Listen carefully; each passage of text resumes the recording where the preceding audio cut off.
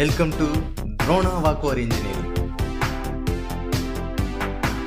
Hello friends diploma ஸ்டூடெண்ட்ஸுக்கு இப்போ Google class room மூலமாக தான் வந்து எக்ஸாம் வந்து நந்தன் இருக்குது அதில் வந்து பார்த்தோன்னா டாக்குமெண்ட்ஸ் எல்லாம் ஸ்கேன் பண்ணி அப்லோட் பண்ணும்போது பிடிஎஃப் ஃபைல் ஃபார்மேட்டில் தான் வந்து அப்லோட் பண்ணணும்னு சொல்லிட்டு டோட் வந்து சொல்லியிருக்காங்க.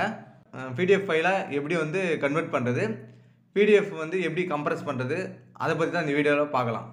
வாங்க வீடியோக்குள்ளே போகலாம் இப்போ வந்து பார்த்தோன்னா நீங்கள் ப்ளே ஸ்டோரை வந்து ஓப்பன் பண்ணிக்கோங்க. அதில் வந்து பார்த்தோன்னா ஸ்கே ஸ்கேனர் அப்படின்னு போட்டு டைப் பண்ணுங்கள் ஸ்கேனர் ஆப் அப்படின்னு வரும். இதில் வந்து நிறைய நிறைய காட்டுது கேமரா ஸ்கேனர் நிறைய காட்டுது அதில் வந்து பார்த்தோன்னா டாக்குமெண்ட் ஸ்கேனர் மேட் இன் இந்தியான்னு இருக்குல்ல அதான் நான் யூஸ் பண்ண யூஸ் பண்ணின்னு இருக்கேன். ஸோ இது வந்து இது ஆப் வந்து நல்லாவே இருக்குது நிறைய ஃபியூச்சர்ஸ் இருக்குது மேட் இன் இந்தியா நீங்கள் வந்து கேம் ஸ்கேனர் யூஸ் பண்ணுறதுக்கு வேலை இது யூஸ் பண்ணலாம். ஏன்னா கேம் ஸ்கேனர் வந்து இப்போ பேன் பண்ணிட்டாங்க. ஏற்கனவே இன்ஸ்டால் பண்ணி வச்சுருந்தீங்கன்னா வந்து யூஸ் பண்ணிக்கலாம். பட் நீங்கள் டாக்குமெண்ட் ஸ்கேனர் டாக் ஸ்கேனர் வந்து நீங்கள் யூஸ் பண்ணிங்கன்னா பெட்டராக இருக்கும். நிறைய ஃபியூச்சர்ஸ் இருக்குது இது மூலமாக நீங்கள் வந்து எரேஸ் ஒரு தப்பு பண்ணிட்டீங்கன்னா அது எரேஸ் க்யூர் பண்ணிக்கலாம். ஸோ அதெல்லாம் எப்படின்னு சொல்லிட்டு இந்த வீடியோவில் பார்க்கலாம். ஸோ அது வந்து கிளிக் பண்ணிக்கங்க. கிளிக் பண்ணிட்டு இப்போ வந்து பார்த்தோன்னா ஆல்ரெடி ஓப்பன் கேட்குது ஓகேங்களா ஆல்ரெடி நான் இன்ஸ்டால் பண்ணிட்டேன். அதனால் வந்து பார்த்தோன்னா ஓப்பனில் இருக்குது நீங்கள் வந்து உங்களுக்கு ஃபஸ்ட்டு இன்ஸ்டால் பண்ணுறீங்களா வந்து இன்ஸ்டால்னு கேட்கும் அதை கிளிக் பண்ணிக்கோங்க. ஓகேங்களா ஸோ ஓப்பன் குத்தோனே வந்து இந்த மாதிரி வந்துச்சு. இதில் வந்து பார்த்தோன்னா கீழே அந்த கேமரா ஆப்ஷன் இருக்குது இமேஜ் ஒரு ஆப்ஷன் இருக்குது இதில் வந்து கேமரா மூலமாக நீங்கள் இப்போ வந்து ஒரு பேஜை வந்து ஸ்கேன் பண்ணி அப்லோட் பண்ணிக்கலாம். அப்படிலாம் வந்து இமேஜ் ஏற் ஏற்கனவே நீங்கள் ஒரு இமேஜ் கேமரா மூலமாக வந்து அப்லோட் பண்ணிட்டு அதுக்கப்புறமும் இன்ஸ்டால் பண்ணிக்கலாம். ஓகேங்களா ரெண்டு இதுவாக பண்ணிக்கலாம். இப்போ வந்து என்னன்னா கேமரா நான் ஓப்பன் பண்ணிக்கிறேன். ஓகேங்களா கேமரா ஓப்பன் பண்ணிவிட்டு இதிலே வந்து பார்த்தோன்னா ஆப்ஷன்லாம் கொடுத்துருக்காங்க. அதாவது ஃப்ளாஷ் லைட் ஆனு ஆஃபு இந்த மாதிரிலாம் ஆப்ஷன்லாம் நிறைய இருக்குது ஓகேங்களா அந்த மாதிரி நம்ம பண்ணிக்கலாம். தெளிவாக டாக்குமெண்ட்ஸ் வந்து தெளிவாக இருக்கிற மாதிரி பார்த்துங்க. ஓகேங்களா இப்போ வந்து பார்த்தோன்னா நான் கேமரா வந்து கிளிக் பண்ணுறேன் ஸோ இதில் வந்து எடிட் கூட பண்ணிக்கலாம் நம்ம. தேவையான ஆங்கிள் மாற்றிக்கலாம் மூமெண்ட் பண்ணிக்கலாம். கரெக்டாக அந்த ஏ ஃபோர் சைஸ்க்கு வர மாதிரி நம்ம ஆங்கிள் அட்ஜஸ்ட் பண்ணிக்கலாம். நமக்கு தேவையான அளவுக்கு ரொட்டேட் கூட நம்ம பண்ணிக்கலாம். ஓகே ரொட்டேட்டிங் ஆப்ஷனும் இருக்குது ஸோ இதில் வந்து பார்த்தீங்கன்னா கலர் ஃபில்டர்னு கொடுத்துருக்காங்க. அது என்னென்னா பார்த்தீங்கன்னா இந்த மாதிரி ஸ்கேன் ஸ்கேன் ஆகிடும் அதுக்கப்புறம் பார்த்தீங்கன்னா கலர் நிறைய கலர் இருக்குது கலர் வேரியேஷன்ஸ் இருக்குது ஏன்னா ஒவ்வொரு இடத்துக்கு அந்த லைட்டிங் அந்த சேச்சுரேஷன் வந்து வேறுபடும். ஸோ உங்களுக்கு வந்து எது பெட்டராக இருக்குது அப்படின்னு சொல்லிட்டு நீங்கள் பாருங்கள் பார்த்துட்டு எது பெட்டராக இருக்கோ அது வந்து இந்த டிக் மார்க்கு கொடுத்துருங்க. ஓகேங்களா? டிக் மார்க் கொடுத்தோடனே வந்து சேவ் ஆகிடும் இந்த நம்பர் ஒன் அந்த மாதிரி சேவ் ஆகிடுது ஸோ நெக்ஸ்ட்டு வந்து பார்த்தோன்னா அடுத்த பேஜ் நம்ம ஸ்கேன் பண்ணலாம். ஓகேங்களா? இப்போ அடுத்த பேஜ் வந்து நம்ம ஸ்கேன் பண்ணிக்கலாம். ஓகே இதில் வந்து பார்த்தீங்கன்னா ஒரு நிறைய ஃபியூச்சர்ஸ் இருக்குது ஸோ இந்த ஆப்பில் வந்து பார்த்தீங்கன்னா நிறைய ஃபியூச்சர்ஸ் இருக்குது இப்போ எக்ஸாம்பிள் வந்து நீங்கள் தப்பாக எதனா எழுதிட்டீங்க அதை அடிச்சு இருப்பீங்க அது உங்களுக்கு அசிங்கமாக தெரியும். ஸோ அது அது கூட நீங்கள் வந்து எரேஸ் பண்ணிக்கலாம். எப்படின்னு கேட்டிங்கன்னா எடிட் ஒரு ஆப்ஷன் இருக்குது அதை கிளிக் பண்ணுங்கள் லாஸ்ட் எடிட்டட் டாக்குமெண்ட் ஒரிஜினல் டாக்குமெண்ட்னா நீங்கள் ஸ்கேன் பண்ணதுக்கு முன்னாடி இருக்குது அந்த டாக்குமெண்ட்டு லாஸ்ட் எடிட் டாக்குமெண்ட்னா அதை கிளிக் பண்ணுங்கள் ஓகே கொடுத்துட்டு எரேஸ் டூல்னு ஒன்று இருக்கும். ஆப்ஷன் ஓகேங்களா அந்த எரேஸ் டூல் கிளிக் பண்ணிட்டு இதில் இதில் வந்து நான் எரேஸு ப்ரெஷ் சைஸ் இதெல்லாம் இருக்குது உங்களுக்கு எது வேணுமோ அதை கிளிக் பண்ணிவிட்டு எந்த சைஸ் மாதிரி கிளிக் பண்ணிட்டு மேலே அந்த இன்டெக்ரல் மாதிரி போட்டிருக்கேன். அது வந்து பார்த்தோன்னா எனக்கு தேவையில்லை. அது வந்து பார்த்தோன்னா எரேஸ் பண்ணிடலாம். எரேஸ் ஆயிடுச்சு. ஓகேங்களா ஆயிடுச்சு. இப்போ வந்து கிளிக் பண்ணிவிடுங்க டிக் மார்க் கிளிக் பண்ணிவிடுங்க டிக் பண்ணிவிட்டு சேவிங் ஆகிடும் ஓகேங்களா சேவ் ஆகிடும் ஓகேங்களா நெக்ஸ்ட்டு இப்போது நம்ம சேவ் இப்போ வந்து நம்பர் ஒன்று வந்து சேவ் ஆகிடுச்சு அதிலே போயிட்டு நீங்கள் வந்து பார்த்தோன்னா அடுத்த ரெண்டாவது பேஜ் வந்து கிளிக் பண்ணிவிட்டு ஃபோட்டோ எடுத்துடலாம். ஓகேங்களா? ரெண்டாவது பேஜ் கிளிக் பண்ணி ஃபோட்டோ எடுக்கலாம்.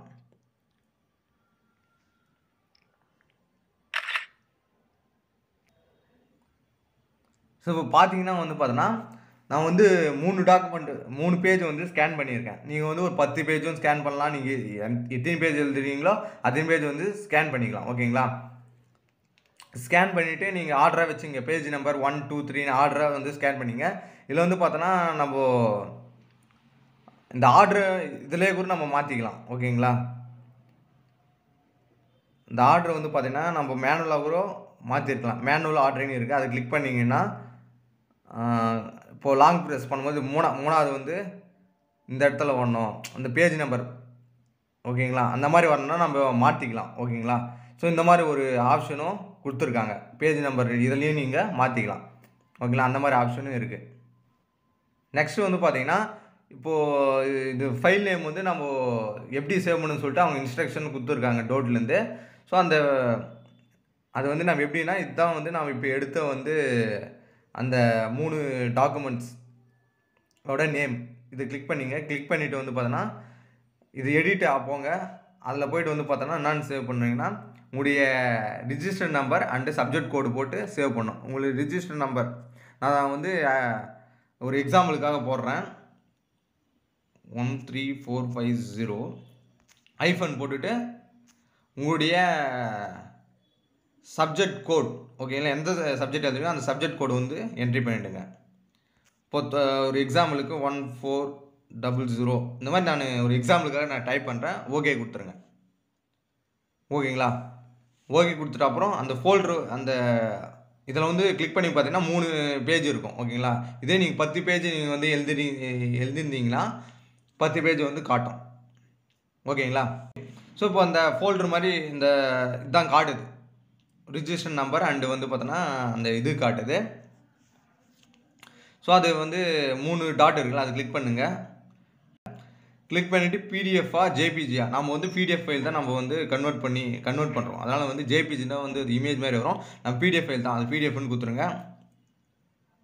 ஓகேங்களா பிடிஎஃப்னா page number one two three இந்த மாதிரி வந்து எத்தனை பேஜ் இருக்கோ அந்த மாதிரி காட்டும். இதில் வந்து பார்த்தீங்கன்னா சேவ் அது கொடுங்க. சேவில் வந்து பிடிஎஃப் பிடிஎஃப்னு கொடுங்க. பிடிஎஃப் கொடுத்துட்டு மை டாக்குமெண்ட்ஸ் அதில் போய் நீங்கள் சேவ் பண்ணிக்கலாம். ஓகேங்களா? அதில் போய்ட்டு நீங்கள் சேவ் பண்ணிக்கலாம். இப்போ இதில் வந்து பார்த்தோன்னா ஆப்ஷன் வந்து கம்ப்ரஸ்னு ஒரு ஆப்ஷன் இருக்குது ஓகேங்களா? கம்ப்ரஸ் போனீங்கன்னா இப்போ வந்து இந்த மூணு பேஜ் வந்து பார்த்தோன்னா ஃபைவ் ஃபிஃப்டி டூ கேபின்னு கா காட்டுது. ஓகேங்களா? இதே நீங்கள் பத்து பேஜ் காப்பி பண்ணிங்கலாம் வந்து பார்த்தீங்கன்னா அதிகமாக எம்பி காட்டும் அதிகமாக கேபி காட்டும் ஓகேங்களா ஸோ இப்போ மோஸ்ட்லி நம்ம குட்டு அந்த லெவலுக்கே வைக்கலாம் ஓகேங்களா இப்போது நானூற்றி எண்பத்தஞ்சு கேபி இது வந்து கம்ப்ரஸ் ஆன பிடிஎஃப் அதாவது நீங்கள் வந்து மோஸ்ட்லி வந்து five MB to six MB அந்த ரேஞ்சுக்குள்ளேயே வந்து பார்த்தோன்னா வைக்கிற மாதிரி பாருங்கள் ஸோ அதிகமான எம்பி கொடுக்கும்போது என்ன என்ன ஆகும்னா அப்லோட் பண்ணுறதுக்கு லேட் ஆகும். ஸோ அதனால் நமக்கு ஒரு ப்ராப்ளம் வரதுக்கு சான்ஸ் இருக்குது அதனால் வந்து நீங்கள் ஒரு மீடியமான ஒரு எம்பிலே ஒரு ஃபைவ் எம்பி சிக்ஸ் எம்பி அந்த எம்பிலே வந்து சேவ் பண்ணிங்க. ஓகேங்களா? இப்போ வந்து சேவ் கொடுத்துருங்க. சேவ் வந்து பிடிஎஃப் தான். மை டாக்குமெண்ட்ஸ் கொடுத்துங்க இப்போ மை டாக்குமெண்ட்ஸ் வந்து கொடுத்தீங்கன்னா சேவ் ஆகும். ஓகேங்களா? அது வந்து எந்த டாக்குமெண்ட்ஸ் ஃபைல் உங்களுடைய ஃபோனோட ஃபைல் மேனேஜர் போங்க. ஃபோல்டருக்குள்ளே போங்க. அது வந்து எங்கே சேவ் ஆகிக்குதுன்னு அந்த நேம் இப்போ நேம் சேவ் பண்ணிங்களா? அது எங்கே சேவ் ஆகிக்குதுன்னு பாருங்கள் அது அது பார்த்துட்டு நீங்கள் வந்து அப்லோட் பண்ணிக்கலாம். ஓகேங்களா? ஸோ இந்த ஆப் வந்து பார்த்தோன்னா உங்களுக்கு கன்ஃபார்மாக யூஸ்ஃபுல்லாக இருக்கும். கம்ப்ரஸ் பண்ணிக்கலாம். மெயினாக இதில் எரேசிங் டூல் அதெல்லாம் வேறு இருக்குது நிறைய ஃபியூச்சர்ஸ்லாம் இருக்குது ஓகேங்களா? இது உங்களுக்கு யூஸ்ஃபுல்லாக இருக்கும். இந்த வீடியோ பிடிச்சிருந்தா லைக் பண்ணுங்கள் உங்களுக்கு தெரிஞ்ச டிப்ளமோ ஸ்டூடெண்ட்ஸ் ஷேர் பண்ணுங்கள் தேங்க்ஸ் ஃபார் வாட்சிங் வீடியோ பிடிச்சிருந்தா லைக் பண்ணுங்கள் மறக்காமல் உங்கள் ஃப்ரெண்ட்ஸுக்கு ஷேர் பண்ணுங்கள் எங்கள் யூடியூப் சேனலை சப்ஸ்கிரைப் பண்ணுங்கள் பக்கத்தில் இருக்கிற பெல் ஐக்கானையும் கிளிக் பண்ணிடுங்க. தேங்க்ஸ் ஃபார் வாட்சிங்